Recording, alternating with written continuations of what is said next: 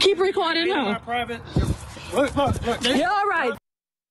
A photo shoot turned ugly when an aggressive neighbor lashed out at a family for taking pictures on a public sidewalk. We showed you this video, told you a little about this story yesterday, and that's obviously not the right way to handle a situation like that. But that Houston neighborhood is known for public photo shoots like this because, well, it's a really nice neighborhood, and it got us thinking a fight like that could really happen in any scenic neighborhood, and there are a lot around here. So what rights do homeowners have? Jay Wallis joins us now to break it all down down for us. Jay? Well, Brian, we hear about it in many different situations in many different ways. People have these types of issues. Homeowners frustrated because they want some peace and quiet. And yes, I know what you're going said, but Attacking people like this, yeah, let's not do that.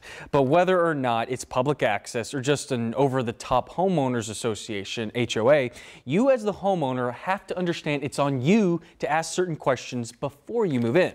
For example, if you're attracted to a pretty lake view or some sort of uh, other scenic image, people will likely be there too, even those who don't live there. And especially in a growing city like Austin, if you think you're moving to a neighborhood that's out in the country, as some people say, or away from the city, nearby land could quickly change with the addition of grocery stores, malls, or more housing. So ask yourself, what is the public's access, and are you okay with the legal answer?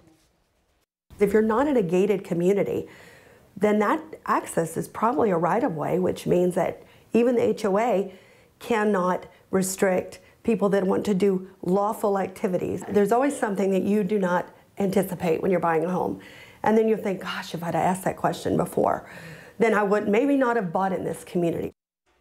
Another tip, just take a weekend to spend some time in the community you're thinking about moving to so you can see what it's really like. So why is all this information important? Well, to help keep your frustration from building up after buying your home and doing something like this. And hey, here's one more tip to use in any scenario. I'm going to blow your mind here, guys.